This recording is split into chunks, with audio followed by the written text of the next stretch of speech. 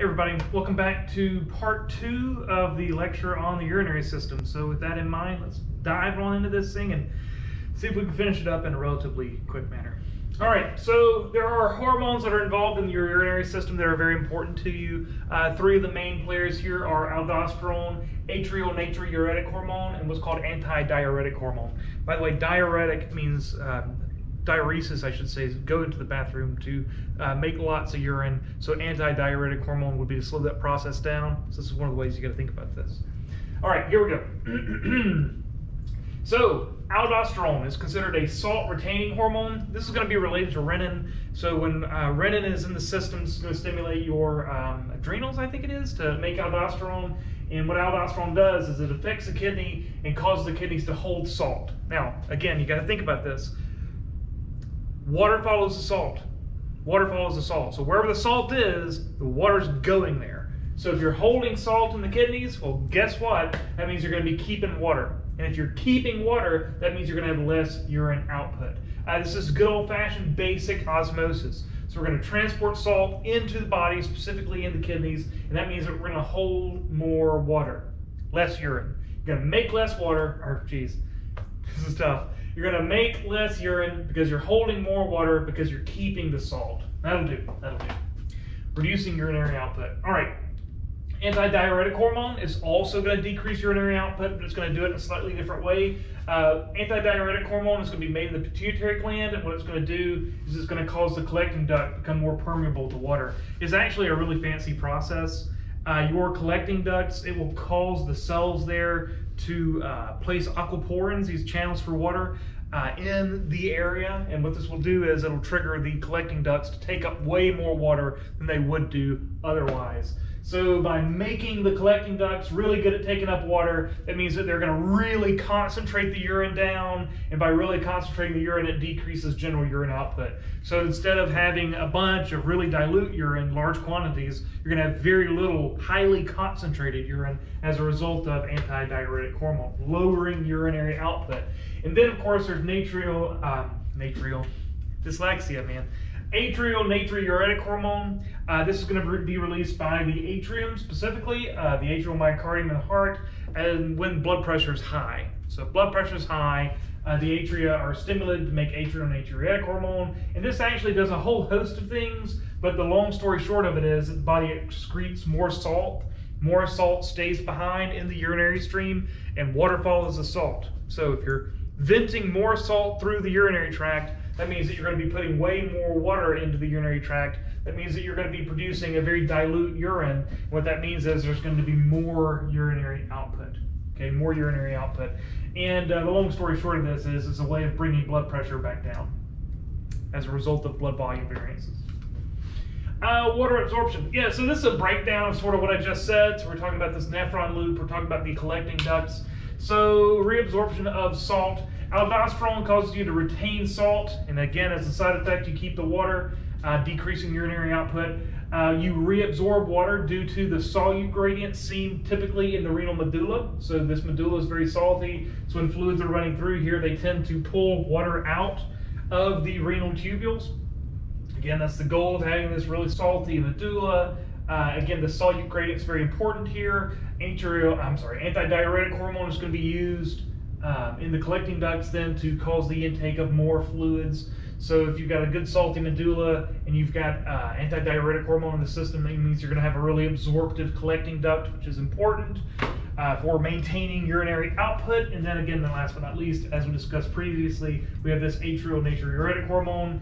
And what this is going to do is it's going to cause you to uh, decrease your blood volume and bring blood pressure back down. And further, ANH, atrial natriuretic hormone, this inhibits aldosterone. So it has a double effect, if you will. Now, what I really want to talk about here is the effect of antidiuretic hormone when drinking alcohol. So, interestingly, alcohol is an antidiuretic hormone inhibitor. Okay, so that means that when you're drinking alcohol, antidiuretic hormone does not trigger the collecting duct to take up excess water. Now, what do you know about someone that's been drinking a lot of alcohol? What do they have to do constantly? Indeed, or going to the bathroom a lot. Because when you're drinking, you produce copious quantities of dilute urine. So the recommendation is that if you're going to drink, you make sure you drink lots of water. Because otherwise, you're going to become dehydrated and that can become a problem. All right? Stay safe. Uh, transport maxima. So I've already kind of mentioned this a little bit, but I'll mention it again. As fluid is pumped into this Bowman's capsule via this glomerulus, lots of materials are going to become glomerular filtrate. Okay, bad stuff like uh, nitrogenous waste are going to become glomerular filtrate. Lots of water is going to become glomerular filtrate. Some salts will become glomerular filtrate, and important nutrient molecules like glucose are going to become glomerular filtrate. The idea is that we very quickly want to take all that stuff back up fast as we can. Now, how do we take up, for instance, sugars, glucose, uh, that are making their way through the kidney tubules? Well, we have transport proteins that are going to be actively transporting these nutrient molecules back into the bloodstream. This is tubular reabsorption. We're taking back up the stuff that we want to keep, but there is a limit to the amount of material that these transport proteins are capable of moving. And diabetes is going to play a role here. So our blood sugar, uh, when you're at rest, should be between 70 maybe 80 milligrams per deciliter. After you've had a couple donuts, it should be up a little over 100. Um, a person who is diabetic, it can be up over 200. Once your blood sugar levels reach about 220 milligrams per deciliter, you have reached what we call the transport maximum of your uh, transport proteins seen in your kidney tubules. In other words, once you hit 220, there is so much sugar in the glomerular filtrate that as it's flowing through, the transport proteins are not capable of taking up the amount of sugar that's there. The, the amount of sugar is just too much. So those transport proteins are pulling out as much as they can at the highest rate possible, um, but that's not enough. So glucose begins to leave the kidneys via the urinary stream. Let me say that again. Glucose starts to leave as urine. Glucose is leaving as urine, it's going to act just like the salt here, folks. Water is going to chase that solute, and what that's going to do is a person who is di uh, diabetic, who has reached their transport maximum, is going to really dramatically increase their urinary output. And again, we've already talked about this, so I'm not going to harp on it endlessly. Uh, but the idea is that the urinary output changes because you've played with the solute balance in the urine, you've outran the transport maxima of the kidney itself, so you're going to be venting large amounts of very dilute urine containing a lot of glucose. In fact, uh, it's a little gross, but uh, the idea is that in the past there have been doctors who would smell and or taste urine in order to determine if someone had diabetes or not, because the urine would have a sweet taste or a sweet smell as a result of all the glucose leaving via urinary output. Gross, but luckily today we have test strips. Way easy. Okay that everything off of this? I think it is. Okay. Uh, filtration breakdown. So your proximal convoluted tubules pull about 65% of the glomerular filtrate and put it right back into your peritubular capillary beds. This happens very, very quickly. So you make the glomerular filtrate and immediately that stuff's going to have transport right back into the bloodstream. Um, a lot of this is going to be linked to the movement of, of salts. So when you pull salt back into the kidney, uh, into the medulla specifically, you're going to be pulling a lot of water too, and a lot of things follow that. Uh, the nephron loop reabsorbs another 25% of that filtrate. Again, it's got that vasa recta on that nephron loop, and it's going to be constantly pulling materials out. There's going to be a lot of tubular reabsorption happening there, active transport, pumping things back into the blood supply. The distal convoluted tubule is still going to be reabsorbing materials like sodium and chloride ions, uh, water under hormonal regulation, specifically, as we discussed, aldosterone and anti, uh, or I'm sorry, atrial natriuretic hormone. Uh, we will also extract things like drugs, specific waste, and some solutes, and actively pump them back into the urinary stream. This is that tubular secretion that we discussed previously. And uh, yeah, that's, that's pretty much the extent of it. So your distal convoluted tubules are going to complete the process by uh, pulling water out and concentrating down the urine. But the idea is that once this urine or this urinary filtrate, if you will, has reached the distal convoluted tubule, what's going to be urine is urine. Okay, uh, once it's gone through there, once it hits the collecting duct, it's urine, and all the collecting duct does is pull out the excess water. Yeah. all the collecting duct does is pull out the excess water. All right, so your collecting ducts are incredibly numerous, and they're going to connect to lots and lots of uh, nephrons, as we've discussed previously. And what this is going to do is it's going to give these medullary pyramids a classic stringy appearance. And that stringy appearance is a result of all these collecting ducts tunneling their way down to form these lower papillary ducts. All right, the papillary ducts are going to be some uh, just packed with collecting duct ends. They're going to dump into your minor calyces. Yeah. Ah, uh, let's see. I, let me just run you through this real quick. It's on my mind. So you've got the nephrons up here in the kidney cortex. So the nephrons are going to be containing a glomerulus a Bowman's capsule, proximal convoluted tubule, loop Henle, distal convoluted tubule, collecting duct, collecting duct, collecting duct, collecting duct, all terminating in one of these papillary ducts, dumping into a minor calyx. A couple minor calyxes make a major calyx. Major calyces come together to form a renal pelvis. Renal pelvis exits via a ureter. Yeah. Ureter down to the bladder, bladder out via the urethra. All right, all right, I think that'll do. So, what do we want to talk about now? I believe this is a ureter conversation. So, this is interesting. It's a bifid um, urinary tract here. So, we have a, a duplex kidney, which is kind of cool. These are neat. Uh, this is just a situation where, for whatever reason, during development, the kidney forms up as two separate units internally. So you can see that there's like an upper part and a lower part, and they are not necessarily connected. Uh, there's no problem with this. It's actually relatively common. And people just find out about it randomly. Like you'll go in for some sort of random scan, doctor's like, oh, look at that, you got a duplex kidney. It's a totally normal thing, and folks don't even notice it in almost every case. Uh, but it is a real thing. It's a real thing.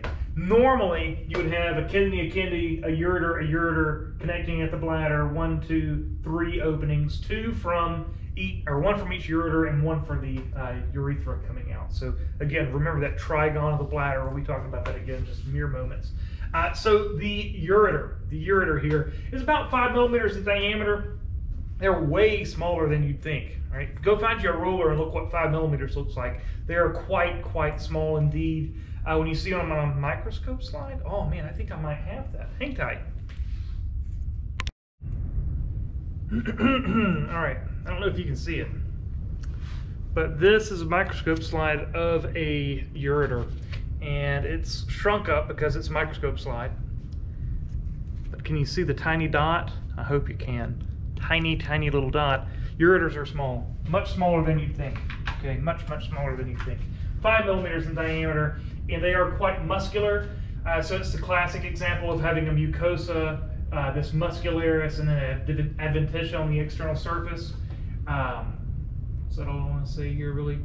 Yeah, I think I think that'll do. So these are made out of uh, transitional epithelium, so they're capable of a little bit of stretch. I mean, the bladder is really made out of transitional epithelium. It's very capable of stretching. But these have transitional epithelium too, and I'll be explaining that here in just a second. But the idea here is that your ureters are very muscular. They've got this muscularis. And then further, the adventitia on the outside is quite a strong fibrous layer.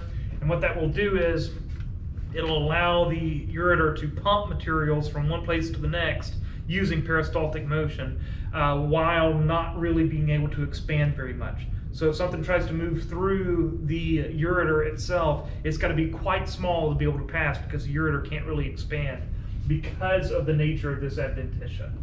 Yeah, it's a fibrous connective tissue layer. Yeah, yeah, I think that'll do. Now, why am I talking about uh, things not being able to pass? Well, you can probably guess that we're going to be talking about kidney stones here in just a few minutes. So that's the reference here. That is a reference to kidney stones. Kidney stones must be quite small in order to pass through here.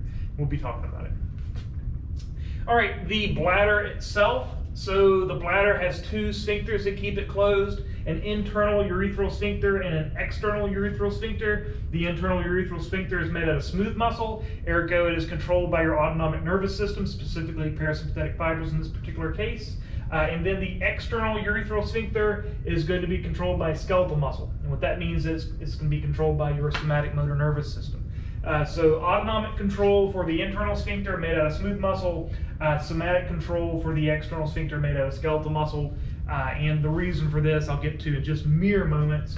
but the nature of the bladder is that it's internally going to contain lots and lots of rugae, uh, and these are going to be undulations or folds. You can see all the folds here in a collapsed bladder. So when the bladder's collapsed, it's got all these rugae, these uh, these lines, as you can see here, the sort of inundations and, and the way this is all assembled. And then when the bladder fills, it has the ability to stretch open and be quite large. So the nature of these rugae, these folds, these wrinkles, is that it'll allow the bladder to stretch given the opportunity. And further, the bladder's lining is made out of transitional epithelium, Transitional epithelial cells are quite round on the external surface, uh, but as the bladder fills and stretches, they can become quite flat indeed. So the nature of the bladder containing these transitional epithelial cells is very important for us. Yeah, yeah. There, uh, the bladder itself has a lot of smooth muscle interiorly, and it's referred to as the detrusor or the detrusor muscle. And the detrusor muscle is going to be responsible for uh, contracting the bladder and giving you the urge to urinate, and then when you decide to, assisting you in producing a urinary stream. Yeah, yeah, pretty happy with that. Let's talk about how we make said urinary stream. Uh, so the way this works is pretty cool uh, and really telling. Like if you've ever seen a little kid get the urge to go to the bathroom, like you're talking to the kid, like I, I got three kids, you know, like hey, you need to go to the potty? No, no, no, everything's fine. Then five minutes later, they go. Like it just strikes them like lightning. The craziest thing you've ever seen in your life drives you up the absolute wall. Uh, but the way this works is very simple, and it makes perfect sense if you understand bodily function. Uh, the bladder will begin to fill and again, feel free to read this. I'm just going to tell you how it happens.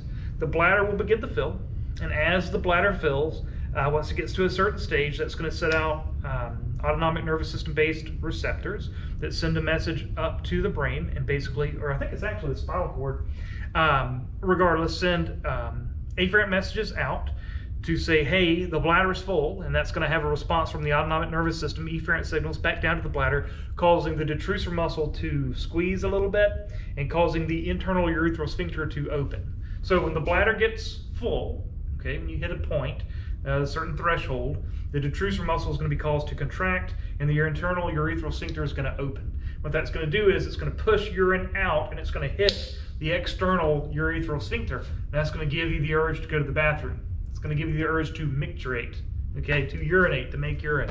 Um, and then your pons has a, a job to do. Your pons can decide if you're going to open the external urethral sphincter, if it's a timely uh, moment to go to the bathroom, or alternatively, if you got to run to the bathroom, uh, you can hold it for a period of time, run to the bathroom, and then tell the pons to release your external urethral sphincter and allow you to avoid the urine from the bladder. Once the bladder loses its general pressure, uh, the internal urethral sphincter will close yet again, the detrusor muscle will relax yet again, and you will no longer have the urge to urinate. And I'll tell you a little story I think is fascinating. I remember uh, we'd have to drive long distances when we lived in North Carolina to come home. And when you're driving that distance, you know, sometimes it's just not ideal to have to stop and go to the bathroom all the darn time. So one of the things that you notice is if you're like me and you're wearing a belt, uh, you can loosen the belt and or unbutton that top button on your pants and sort of relax the stomach and keep the pressure from your clothes off of your lower belly and you will uh, lose the urge to go to the bathroom as readily okay? So if you're sitting there and you feel like you need to go to the bathroom you can actually loosen your belt or loosen your uh, pants a little bit and that'll take some of the pressure off of the bladder and by relieving some of that pressure the autonomic nervous system uh, will pick this up as a decrease in pressure turn off the mechanisms that give you the urge to urinate and give you a little bit more time to drive before you got to pull over and make things happen. Uh, so this is a very neat process. So if you had the bladder about half full and you could get in there and give it a good squeeze, it'll give you the urge to urinate. Uh, and then if you let go and let the bladder relax, the urge to urinate would go away. It's all about pressure within the bladder and the autonomic nervous system signals uh, that are sending to and from. Kind of neat. All right, renal failure is a state in which the kidneys cannot maintain homeostasis due to destruction of their nephrons. So how do you cause nephron destruction? Man, you can do this in a whole host of ways.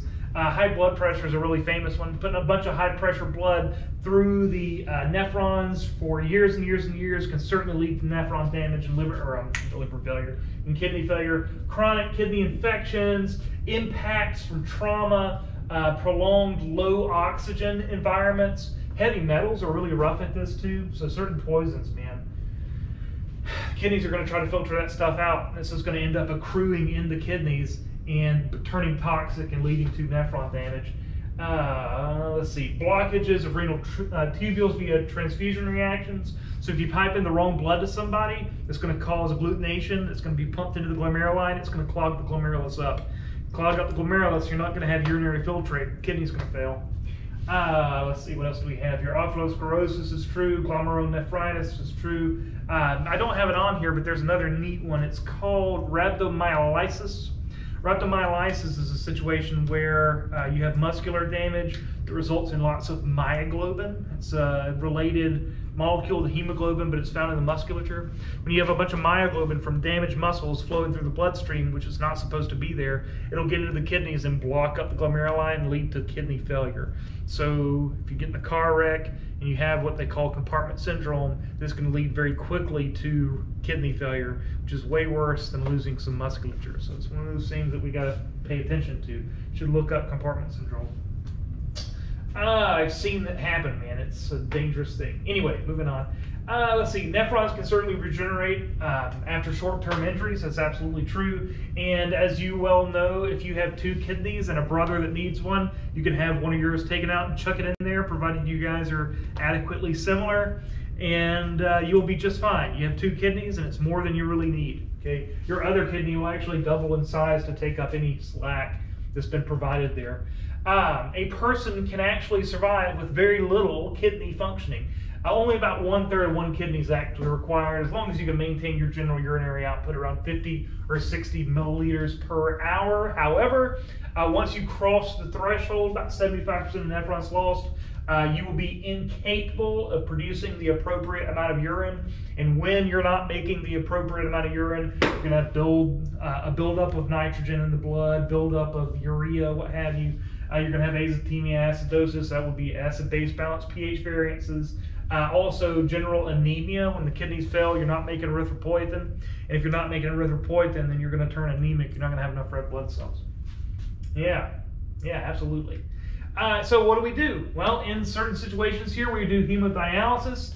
Uh, dialysis is a process of pulling the blood out of the body, cleansing it of waste products, getting rid of anything you need to get rid of, and then pumping that clean blood right back on into the body. Uh, but it's, man, it's a whole lifestyle changing situation is dialysis. It's such a fascinating thing too. Like, imagine not going to the bathroom anymore. You're no longer going to be producing urine. It's just a weird situation. Uh, what will happen is you will uh, go in to do dialysis about three times a week for several hours each trip. They're going to hook up two large diameter needles into your cardiovascular network. They're going to pull your blood out. It's going to run through a machine. Uh, this machine will pump your blood in through the machine, putting it through a specialized tube called dialysis tubing. And the tubing is um, um, we'll call it selectively permeable, but you get my point, is capable of osmotic and fusionary processes. Uh, the gist of it is that this fluid that uh, the blood is going to be running through tubules within is going to be used to pull nitrogenous waste out of the blood, to pull excess water out of the blood, to pull excess salts out of the blood. Uh, imagine this fluid as being like the perfect environment for the body, and you're running the blood in a tube through this perfect environment, and it's going to balance out any variances that are found within the bloodstream. So dialysis does this process. And worthy of mention here, I suppose, is CAPT, uh, PD, which is continuous ambulatory peritoneal dialysis. Kind of a neat thing. What we'll do is we'll open up the peritoneal cavity and we'll flush it with a special fluid and then seal off the opening. Um, this special fluid will sit in your peritoneal cavity and sort of act like dialysis fluid. It's going to take up excess nitrates and anything dangerous, it's nitrogenous waste products, salts, what have you. Uh, and that's going to be stored in the abdominal cavity. And you'll go in and have your fluid exchange. It's like getting an oil change. Okay, have your fluid exchange, put in fresh fluid, and then go about your daily business. It's going to serve the same role as doing dialysis, just doing it in a slightly different way. But the idea here is the kidneys aren't doing their job, so we got to use machines to do the job for them. Uh, kidney stones. So kidney stones are indeed formed from minerals in your urine. Uh, this is especially true. Well, I'll get to this all in a second. This is especially true if you're not drinking appropriate amounts of water. Okay, you, when you go to the bathroom, public service announcement. Let me get up on my soapbox here. When you go to the bathroom, you want your urine to be clear. Okay, you want clear urine. If your urine is really yellow or you know really you know opaque, I guess is the term. Like you can't see through it well. Uh, you uh, you got problems. All right, you want to be drinking more water and going to the bathroom more frequently. Uh, you don't, if you feel the need to go to the bathroom, you need to go to the bathroom. You don't want to hold it for prolonged periods of time. Uh, it can cause all kinds of problems with the bladder, all kinds of problems with the ureters, all kinds of problems with the kidneys if you hold urine for too long. And further, again, you want that urine to be clear or you're not drinking enough water. Uh, if you if you have really thick looking urine, man, let me tell you, you are asking for kidney stones, begging for them, begging for kidney stones. So typically, uh, these kidney stones are going to be caused by a whole variety of factors. Dehydration. Okay, if you're not drinking enough water, dehydration is going to cause like a really thick urine in here, it's going to be more apt to crystallize. Diets that are really high in animal proteins, sodium, refined sugars, fructose, and high fructose corn syrup, grapefruit juice, and apple juice can all lead to this. My wife, who has had a few kidney stones, just chows down on the Cokes, man. She tears into Coca Cola like it's going out of style. And that is going to trigger kidney stones because guess what she doesn't like to do? Drink much water at all. She has always been dehydrated every day of her life because she just refuses to drink water. Uh, and that leads to kidney stones. It's, it's like if you smoke, you're going to get cancer. If you don't drink enough water, you're going to have kidney stones. And they are no fun. No fun at all. Now, typically these will leave via the urinary stream, but if they're big enough, they can cause more problems. Uh, typically, a kidney stone is going to be about three millimeters or less. Um, well, hang on. Let me just get into this. So, you, you produce kidney stones from time to time, and normally they're so small that they're voided from the system. You never even know they were there. Okay, uh, but if they're about three millimeters or slightly larger, uh, they will cause rhythmic pain, unlike much of anything you've ever felt in your life. Okay, uh, yeah, rhythmic, awful pain. Kidney stones are crystalline, so they have sharp edges all over them. So what's going to happen here is every time a peristaltic wave hits that stone, it's just going to shred it through the mucosa of your ureter, and it's going to be tearing into that ureter as it moves down. And it's going to start out in your back, and it's going to hurt, and it's going to move down lower, lower, eventually get into the genital area, and then eventually you'll dump that off into the bladder, and you won't be hurting it as much anymore. And then the process avoiding it uh, from the urethra is about as fun as it sounds. Uh, it's a little easier than passing it through the ureter, depending upon the size, but uh, you can imagine. I've talked, I've heard many stories about this from people. Never personally experienced it. you Can imagine go to the bathroom, and then the urinary tract or the urinary flow stops, you feel pressure build up, and then out spits the kidney stone, and then things go back to normal. So a weird sensation. Uh, and one of the things you'll notice about kidney stones that'll just blow your mind is how tiny they are. Like you're gonna feel like you're gonna die. It is the worst pain. I've seen it a few times. It is not a fun experience. Um, and then the, the stone comes out and it's about the size of the ball in a ball um, um, ballpoint pen. About the size of that ball right there. So if you got a ballpoint pen handy, Look at the end of it. That's about the size of a kidney stone. They're tiny. They're no fun. They hurt real bad. Uh, now, how do we know if somebody's got a kidney stone? Again, you can feel the pain. You can see the nausea, vomiting, fever. Uh, but what we tend to notice is somebody's coming in with a kidney stone. We think we're going to make them uh, go to the bathroom. We're going to test their urine and look to see if there's any red blood cells in there. Real quick and dirty way of diagnosing a kidney stone. Because if that stone's running down the ureter, it's going to be tearing that ureter to shreds, and there's going to be blood in the urine. Uh, yeah, yeah, that's how that works. Good, let's go here. So urinalysis. Man, we can use the urine. Again, here's a nice urine sample containing red blood cells. You can see the red blood cells here, classic example of a kidney stone. We can use urinalysis to diagnose just all sorts of problems with your body. Uh, man, I'm going to go into more detail when I do the um, lab side of this, but urinalysis is a wonderful tool, just a absolutely wonderful tool yeah, so we can look for, for instance, sugar in the urine and be a good way to diagnose diabetes. We can look for certain liver enzymes in the urine. It's a good way to diagnose certain liver disorders. Uh, urinary tract infections, we can look for uh, um, bacteria in the urine, the classic cloudy urine. Okay, urine that has a cloudy appearance is classic bacteria. Uh, if you want to know what that looks like, you can go buy an unfiltered beer, kind of give it a swirl and pour it into a glass. Looks just like urine that contains bacteria. I don't know if that's gross or not, but you can look at it and tell. Um, like my girl, oh man, like she was claiming that she was uh, having pain going to the bathroom, and I think she was just looking for attention. Uh, but I was afraid that she might have a urinary tract infection. You know, little kids, maybe they don't clean as well as they should. Maybe they clean improperly. Uh, so I take her to the doctor's office. Like, all right, well, we need urinary or urine sample. So get a urine sample, and I take it and I look at it. It's clear as the day is long, nice, clean, clear urine. And all I could think was, why are we here? Throw it in the little cabinet they've got, and then they come back and they're like, oh, should I have urinary tract infection. I'm like, no kidding. No kidding. Anyway, uh, pregnancy is obviously quite easy to diagnose based on certain proteins found in the urine. Drug tests are urinary based. Myoglobin in the urine is a really good way to diagnose um, that uh, compartment syndrome, as we talked about previously, leading to rhabdomyolysis. So, yeah, urinary tract based infections, urinary tract anomalies are great ways of testing for whole body, system wide issues.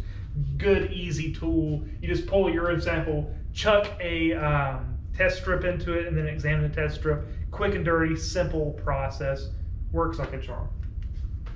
Uh, and then I've got a nice breakdown of how the urinary system influences all the other systems of the body. Uh, a lot of this is really interesting, like talking about the nervous system and the muscular system. Uh, for those to work effectively, your urinary system has to maintain general uh, blood osmolarity and keep ions in appropriate levels. Uh, the digestive system produces urochrome, it's a breakdown product of hemoglobin, and that's what gives urine that yellowish coloration that it has. It's all from the breakdown of red blood cells. I mean, you name it. There's so much to talk about. Vitamin D synthesis, as we talked about previously, erythropoietin synthesis, as we talked about previously. Like, there's just so much, all right? There's just so much going on that the urinary system has its hot little hands in. It, it, it's just a very important system. Like, they're all important systems, but your urinary system is fancy, okay? Very fancy. Uh, and that, I believe, is that. So here's another nice image from the body's exhibit. That's a real kidney. You can see a real ureter as it's traveling down. Uh, and this is how this works, man. So I think that's going to be it. So that's the extent of the urinary system. And uh, I look forward to seeing you on the next one. All right, thanks, folks.